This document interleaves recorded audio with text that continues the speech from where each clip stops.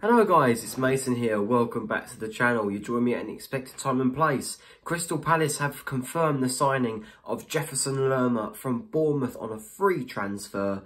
Um, the first bit of business of the window done. We've got it done nice and early, which is what I like to see. 8th of June it currently is, and he will join Crystal Palace. He will join the squad on the 1st of July when the transfer window officially opens, but he is a Crystal Palace player as you know as things stand for us. Um, agreements have been signed documents have been made signed done finished bosh do you know what i mean? It's it's amazing you know. Jefferson lerma bournemouth's player of the year last season you know for a team who i thought was going to finish bottom of the league last season who actually finished 15th good season for bournemouth and a great season from jefferson lerma. He's top uh, scoring season so far as a player. Um, five goals across 37 Premier League games last season. While that stat doesn't sound very promising, a, it's more than any Palace midfielder scored in the Premier League, bar Eze, and it's the most, um, you know, he, he, he, was top scorer for Bournemouth, I think, Jefferson Lerma.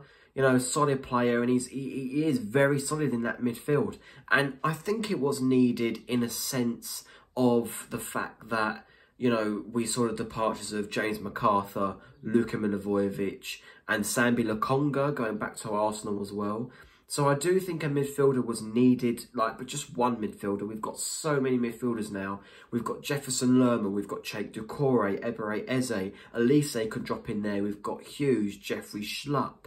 Um, you know, still got Riedewald in this squad as well. So, you know, it's not we don't need midfielders. That's part of me that's saying we don't need him. We need striker because I think Mateta's leaving, so we need a striker. We need a backup left back. I've said this for so long now, and we need a right back. Joel Ward has signed a one-year deal, but do we need another right back to, you know, hopefully get a better position there? I think so. Um, but looking at the positive side, we've got Jefferson Lerma on a free, Bournemouth Player of the Year. It's I, I find it quite good, you know. He, he was a good player. Against Palace, he was probably the main threat on the pitch. So uh, he played all but one game. Can't find what that one game was, but I think he played both games against Palace. And ultimately, we beat them 2-0 both times. Um, well, this season slash last season, we beat them both times 2-0. But Lerma was probably their most, you know, dangerous player on the pitch. And yeah, it was just brilliant, you know, brilliant to watch.